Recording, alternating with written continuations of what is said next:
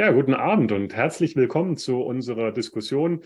Was nutzen uns die Sensoren? Wie können Bürgerinnen und Bürger in Bamberg ihre Stadt vermessen? Ich freue mich sehr, dass wir drei sehr interessante Gesprächspartner heute gefunden haben. Ich äh, stelle Ihnen das äh, Podium kurz vor und ich sage gleich dazu, dass diejenigen, die ähm, die, die Diskussion verfolgen, auch über den Chat jederzeit Fragen stellen können an das Podium. Die werden wir nach der ersten, zweiten Fragerunde auch nochmal aufrufen, äh, bevor wir dann die Aufzeichnung beenden. Danach können wir dann auch noch weiter diskutieren. Ja, das Podium möchte ich Ihnen kurz vorstellen äh, oder ich leite erstmal ins Thema ein, äh, damit wir wissen, worüber wir reden. Sensoren äh, leisten ja wertvolle Dienste, ähm, insbesondere in der Industrie auch. Dort werden alle möglichen Sachen ähm, inzwischen gemessen, zum Beispiel Signale über Position, Strömungen, Geräusche, Temperaturen, Luftreinheit und ähnliches. All das wird gemessen im industriellen ähm, Umfeld. Die ähm, gewonnenen Daten werden dann ähm, insbesondere von Firmen auch genutzt, aber auch von Behörden genutzt, um Entscheidungen zu treffen oder Systeme zu steuern und einzustellen. Und äh, natürlich passiert sowas auch in Bamberg. Die Mitarbeiterinnen und Mitarbeiter des Umweltamtes messen zum Beispiel äh, die Luftgüte regelmäßig, hm, auch Geruchs- und Lärmbelästigung in der Stadt. Und wir alle kennen das ja, vor ein paar Jahren war es noch so, da haben auch Studierende immer mal tageweise am Straßenrand gesessen und hatten so einen Klicker in der Hand und haben gezählt, wie viele ähm, Autos da vorbeigefahren sind. Das ist heute schon Vergangenheit. Das, äh, dafür gibt es heute schon elegantere Lösungen. Aber es ist auch nicht mehr nur eine Sache von Verwaltung und von Industrie, ne, Dinge zu messen und Daten zu erzeugen und ähm, Informationen über die Umwelt ähm, zu sammeln, sondern das kann jedermann machen. Denn wir alle haben heute äh, normalerweise ein Handy in der Tasche und diese Handys, die haben ganz erstaunliche Fähigkeiten, weil die eben nicht nur Ton und Bild aufzeichnen, sondern zum Beispiel auch einen Bewegungssensor haben, neben den äh, Verbindungsmöglichkeiten wie WLAN, Bluetooth und ähnliches. Ähm, gibt es da eben auch einen Bewegungssensor und äh, viele andere Möglichkeiten und Sensoren mit dem Handy ähm, auch etwas zu messen.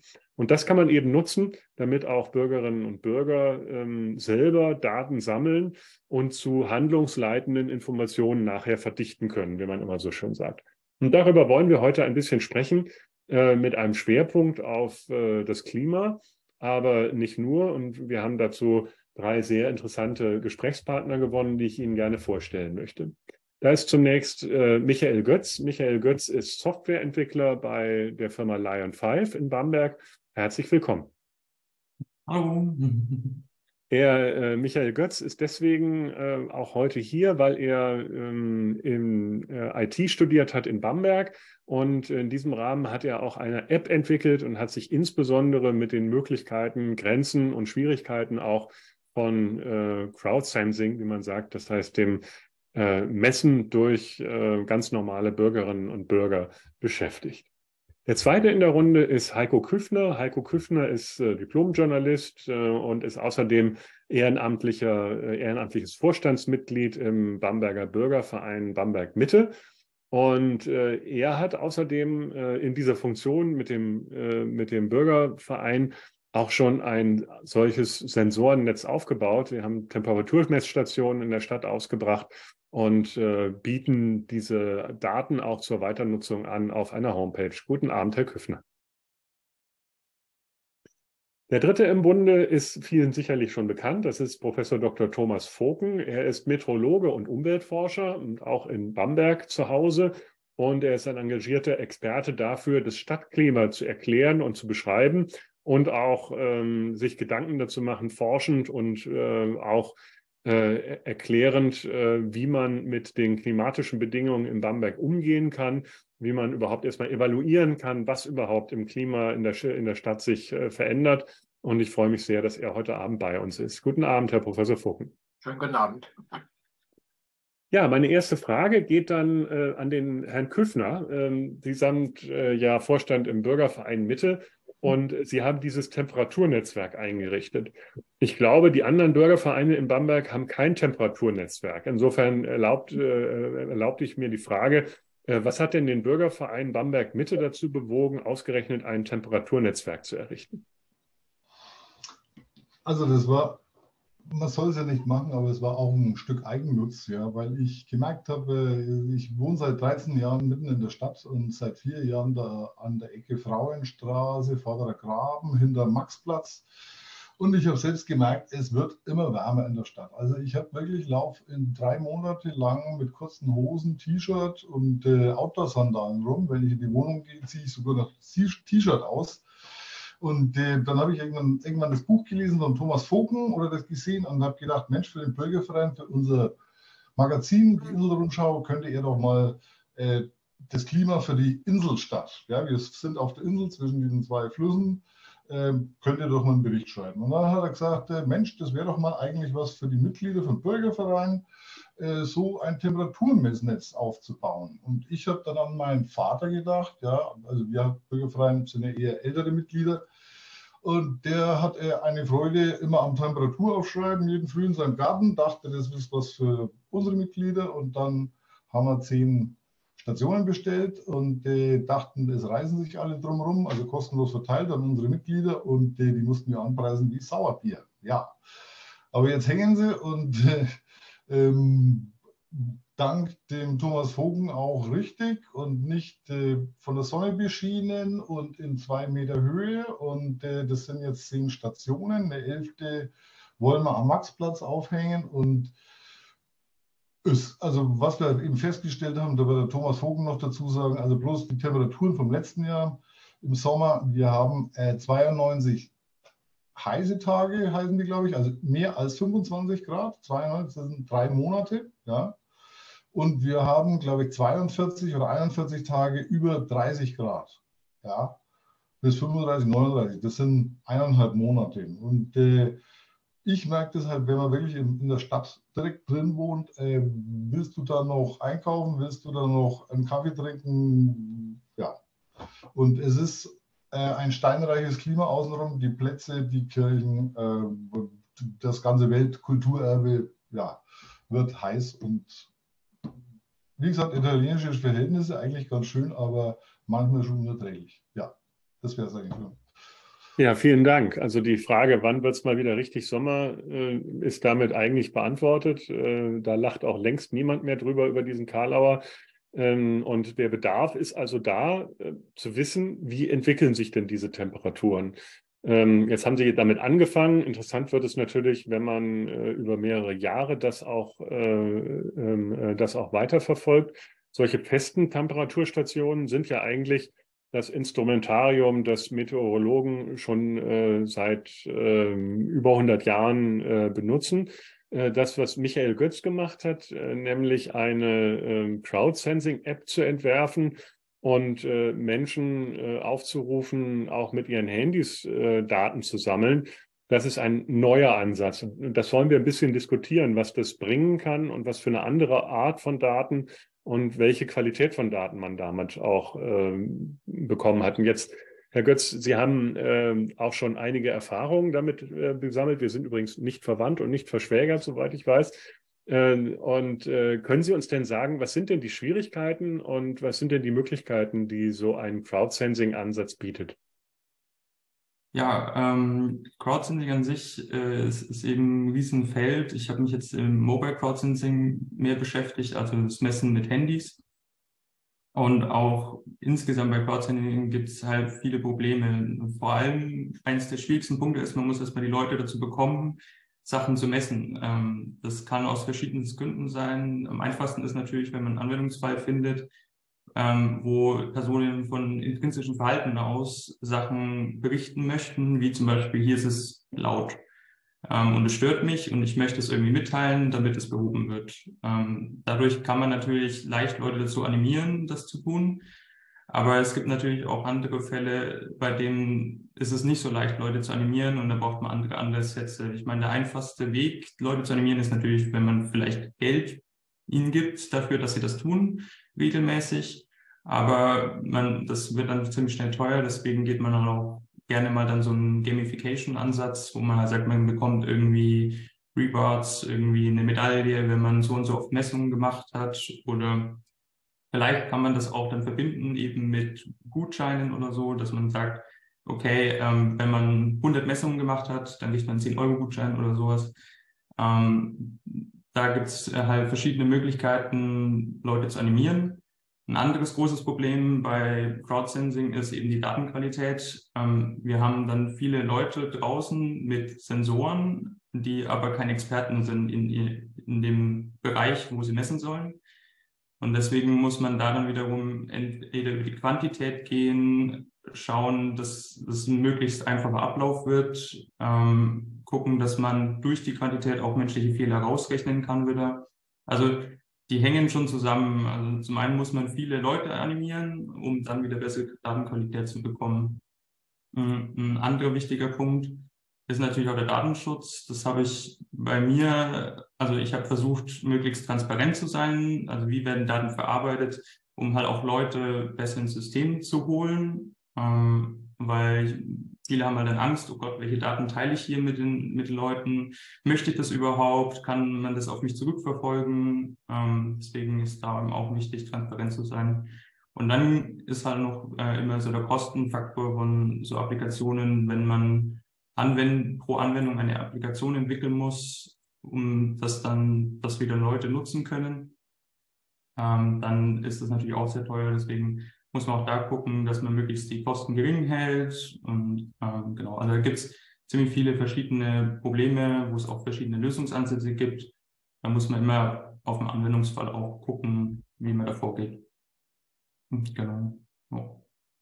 Wenn ich eine kurze Nachfrage äh, ja. stellen darf, ich nehme an, die äh, Zielgruppe von, von Ihrer App waren vor allen Dingen digital affine, tendenziell eher jüngere Menschen. Spielt es eine Rolle bei der äh, Gewinnung der Daten? Weil ich kann mir zum Beispiel vorstellen, dass gerade ältere Menschen noch mehr unter äh, extremer Hitze in, in Innenstädten äh, leiden. Ähm, aber die sind vielleicht jetzt nicht die Ersten, mit dem Handy rauszugehen und, äh, und, und Messungen vorzunehmen. Aber vielleicht irre ich mich da ja auch. Ja, ähm, also um die Daten zu erheben, zumindest mit Handys, muss man natürlich zum einen schon ein bisschen affin sein mit dem Handy, ähm, gut umgehen können. Und dann, wenn man im Grunde eine App, äh, ein Handy bedienen kann, kann man theoretisch auch äh, alles, was man messen möchte, mit dem Handy auch messen. Ein, ein Vorteil ähm, ist ähm, bei Crowdsensing allgemein, dass man natürlich auch nicht nur die Sensoren im Handy nutzen kann, sondern auch die Person, die das Handy benutzt und im Text eingeben oder ein Dropdown-Feld können schon sehr viele. Deswegen muss man da nicht bei jedem Anwendungsfall sehr technisch affin sein. Mhm. Okay. Ja, wir kommen darauf noch zurück.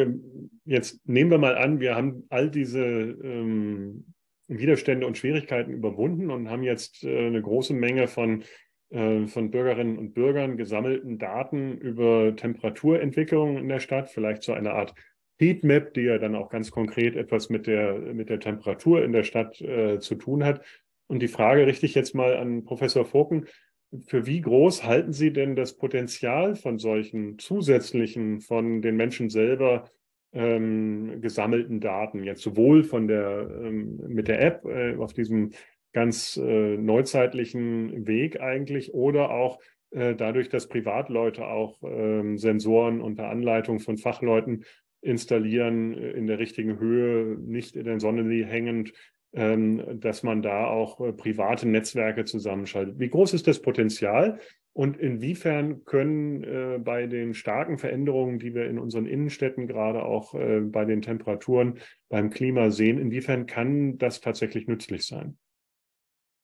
Ja, wenn, wenn wir uns das gegenwärtige Potenzial angucken, was den Kommunen an Daten zur Verfügung ist, dann ist es beispielsweise die Wetterstation Bamberg. Die liegt außerhalb der Stadt in einem Kaltluftquellgebiet und Kaltluftsammelgebiet. Das heißt also, die hat bei Weitem nicht diese Extremwerte, wie wir sie in der Stadt haben.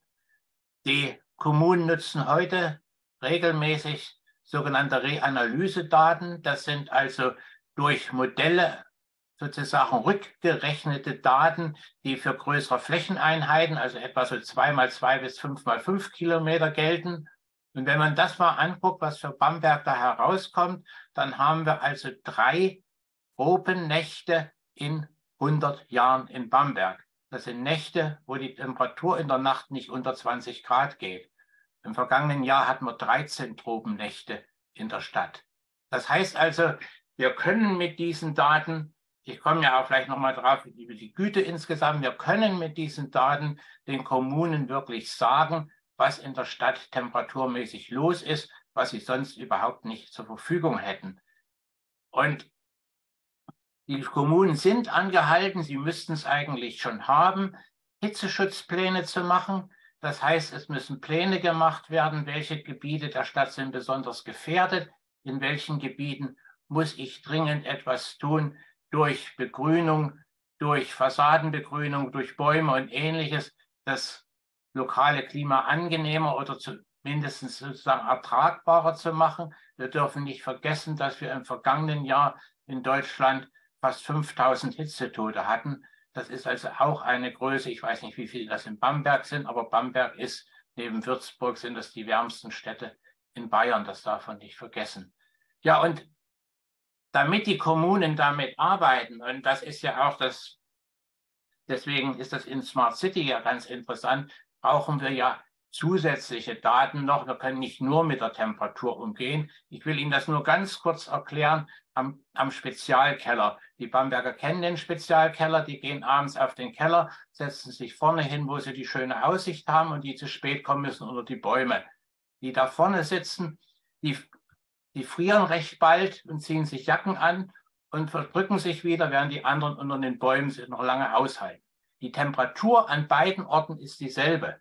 Aber wo sie unter den Bäumen sitzen, da strahlen sie ihre Wärme gegen die Bäume, die auch die Lufttemperatur haben. Wenn sie vorne an der Brüstung sitzen, dann gegen den kalten Nachthimmel. Und sie frieren deswegen, weil sie Wärme verlieren. Und das ist ein Problem in den Städten. In den Städten sind die Mauern aufgeheizt und das Pflaster ist aufgeheizt. Und sie bekommen also in der Stadt in der Nacht keine Abkühlung. Das heißt, sie müssen ihre Temperaturraster noch mit einem Raster der Bebauungsdichte, der Steine und ähnliches sich angucken. Und dann bekommen die Kommunen ein wunderbares Bild, wenn sie das digital zusammenfassen und vielleicht auch noch ein paar Leute, die mit dem Handy rumlaufen und die Daten können wir ja auch noch mitsammeln. Dann ist den Kommunen ein Handwerkszeug über Smart City gegeben, wo sie dann sehr, sehr gezielt ihre Maßnahmen im, im ja, Hitzeschutz und so weiter und in der besseren Anpassung an den Klimawandel tun können. Und in dem Sinne ist so ein Temperaturnetzwerk etwas Wunderbares, das den Kommunen wirklich abrufbare und klare Daten in die Hand gibt. Vielen Dank für die Einschätzung. Es freut mich natürlich auch als äh, Programmleiter Smart City, dass, äh, dass die Arbeit der Smart City da, da wertgeschätzt wird und dass wir uns einig sind, dass es ganz wichtig ist, dass die, die Menschen in Bamberg und nicht nur die Verwaltung, nicht nur die Stadtpolitik, sondern alle Menschen Daten in die Hand bekommen, äh, um sich ein Bild zu machen und auch Entscheidungen zu treffen. Sie haben die Begrünung von Fassaden, äh, Baumpflanzungen in der Stadt genannt. Das ist, glaube ich, jedem einsichtig, äh, dass das eine Maßnahme ist, die dann zu einem angenehmeren Mikroklima führt und auch zu einer ähm, der, der Aufheizung entgegenwirkt.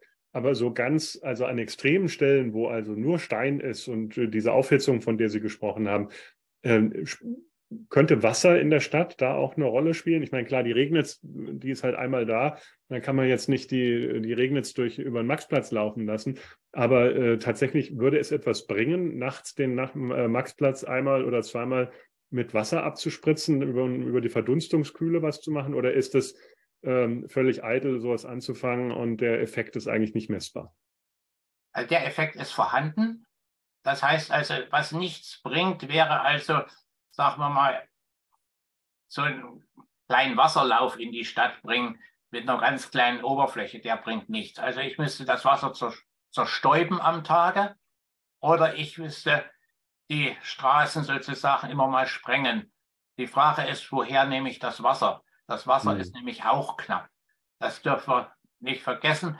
Wenn wir, wenn wir das nicht damit verbinden, dass wir uns eine Schwammstadt aufbauen, dass wir also das überflüssige Wasser bei Starkregen und bei Regen sammeln und dann für solche Zwecke eben haben. Das heißt also Speicherbecken, wo überschüssiges Regenwasser gesammelt ist und das kann dann in der Stadt versprengt werden, dann geht das. Aber Sie finden, Sie haben im heißen Sommer nicht mehr das Wasser in der Regnitz oder im Grundwasser, was sie dafür nehmen können. Das ist also, das Ziel wäre dann also die Schwammstadt aufzubauen, die selber ihr Wasser sammelt.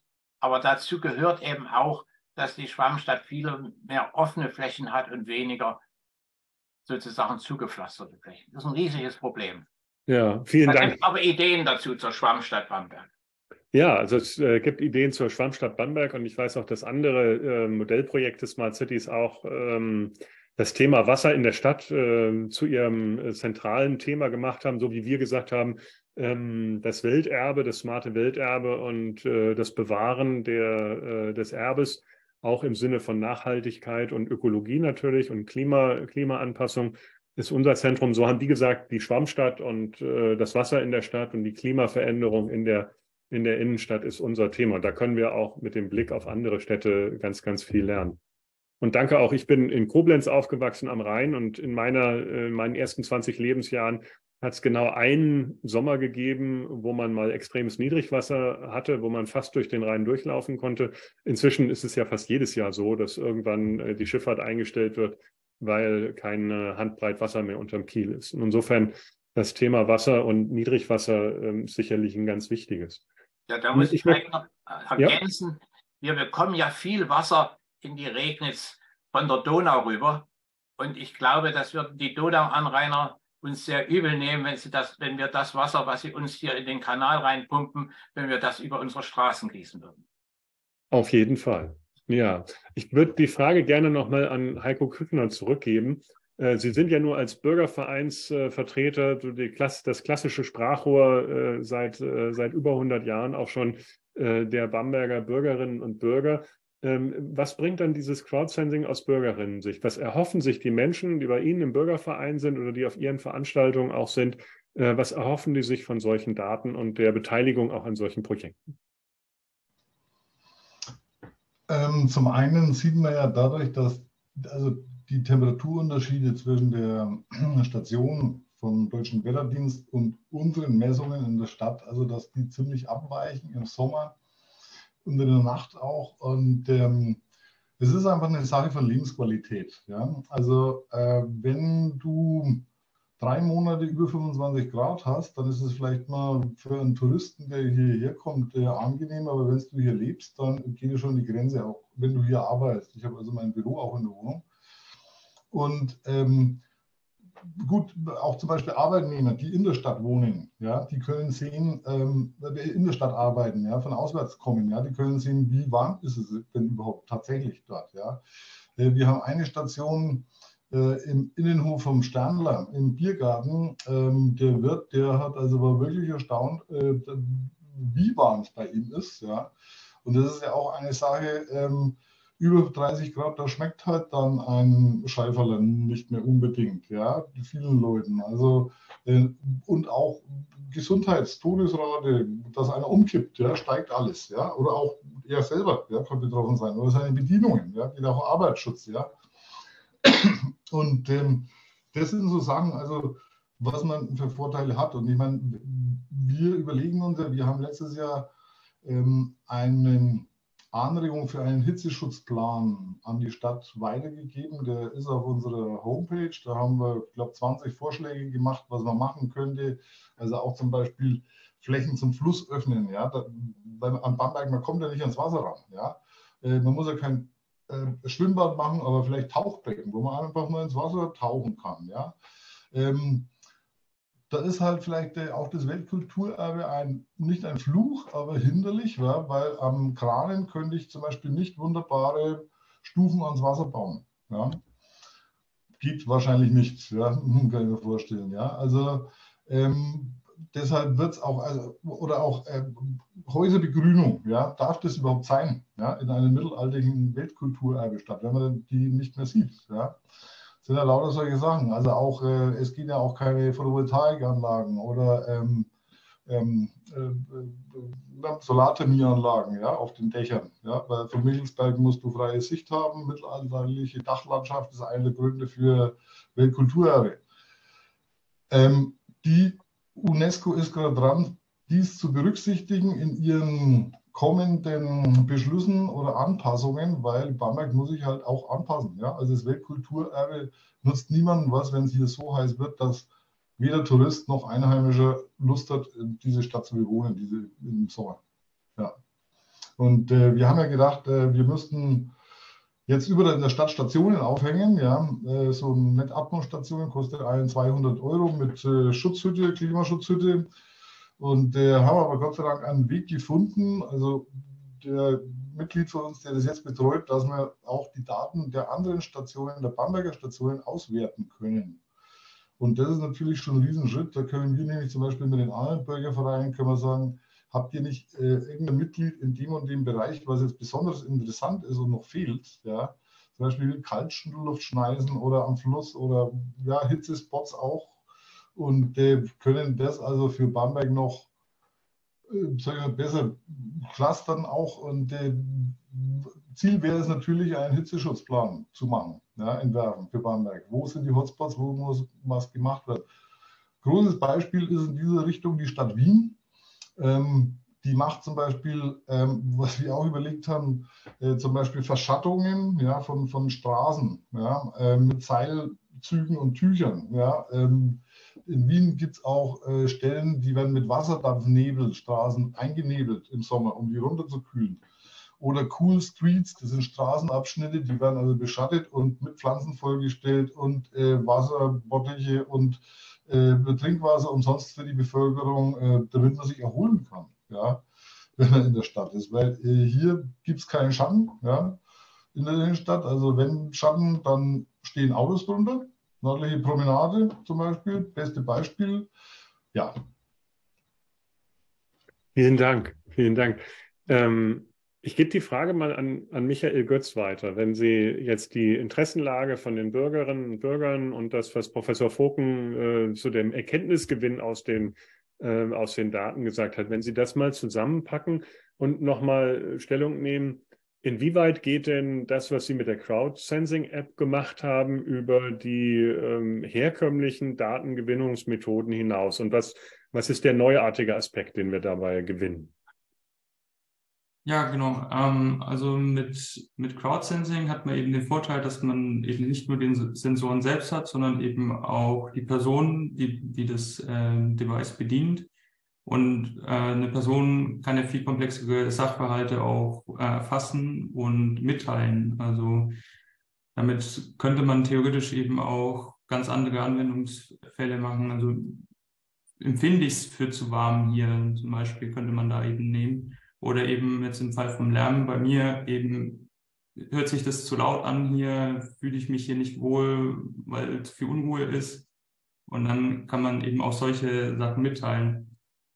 Ähm, genau, in, im Fall von, vom Lärm ist es natürlich ganz gut, erstmal abzustecken, wo sind Gebiete, die vielleicht zu laut sein könnten mit Crowd Sensing. Das könnte man dann eben über die ganzen Personen erheben. Und dann, um auch wirklich festzustellen, ob es zu laut ist, geht man halt dann doch nochmal mit einem Messteam raus und macht dann wieder die ganze normale Routine durch. Aber genau, um mal erstmal so einen Überblick zu bekommen, ähm, wie schaut es denn eigentlich in der Stadt aus, ist eben Crowdsensing ganz gut, weil man hat eben diese beweglichen Sensoren, die durch die ganze Stadt laufen und Sachen erleben und erfahren und das eben mitteilen können. Genau.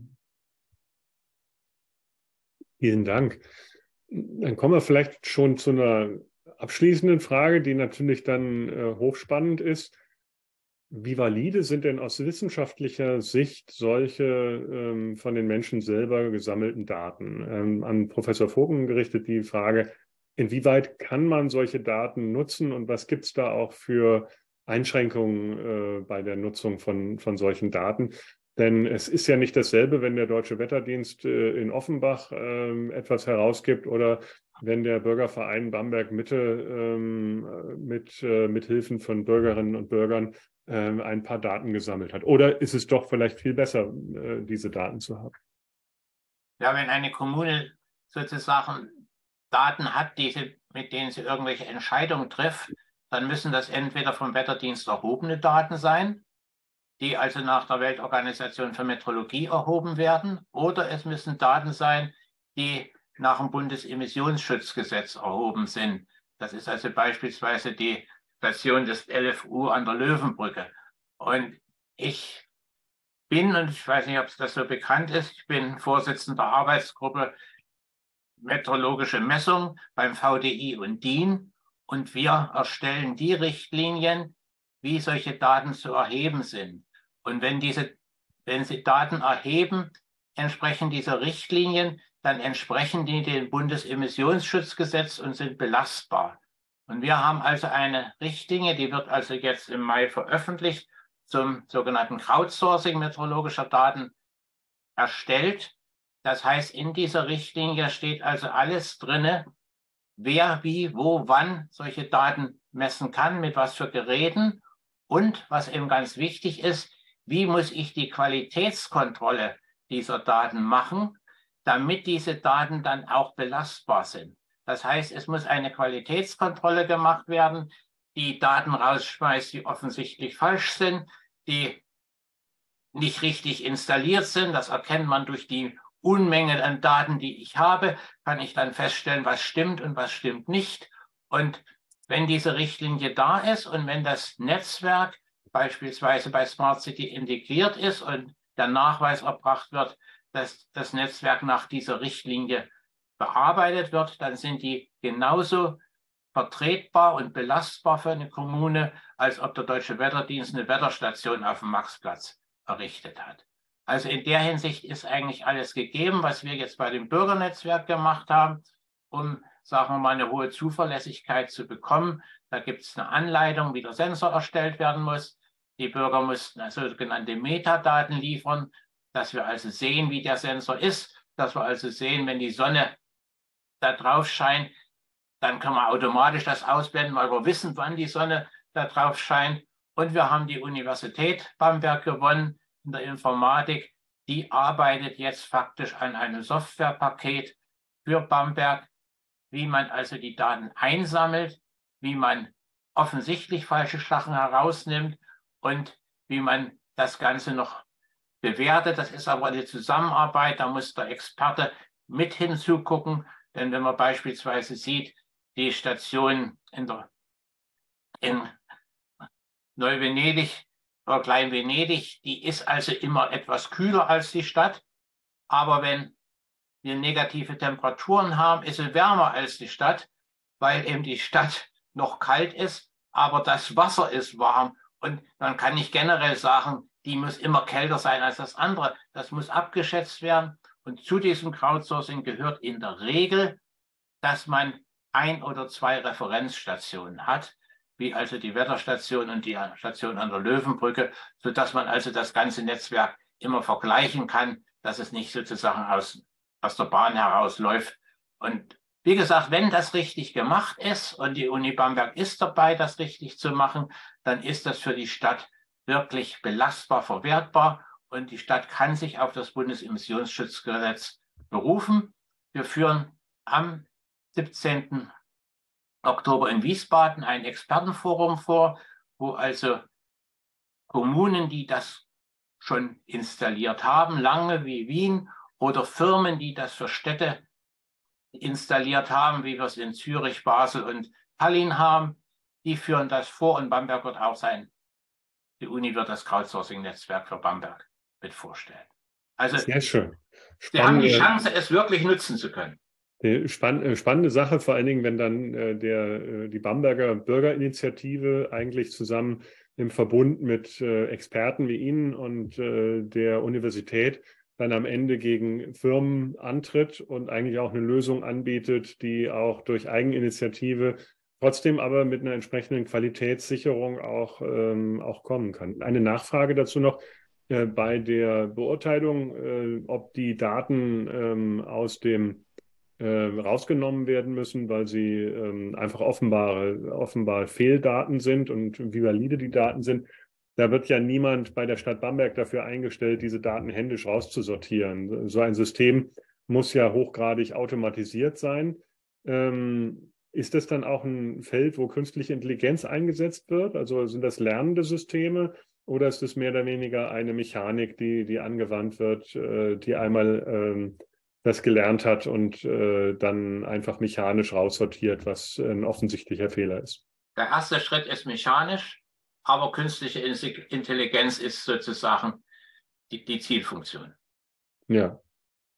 Dann haben wir mit unseren 19 Professoren, äh, ich glaube, es ist keine Professorin darunter, die in Bamberg äh, zum Thema künstliche Intelligenz antreten, auf jeden Fall auch starke Partner an Bord, um das dann dahin zu äh, entwickeln. Und ich glaube, die sind auch sehr froh, solche lebensnahen und nützlichen Anwendungsfälle zu bekommen und sich damit beschäftigen zu dürfen. Das ist ja das Schöne, dass die Begeisterung auf Seiten der Forschung, wenn wirklich Engagement da ist und wenn das, was sie bearbeiten dürfen, Relevanz hat, äh, dann ist der Wille da auch immer groß.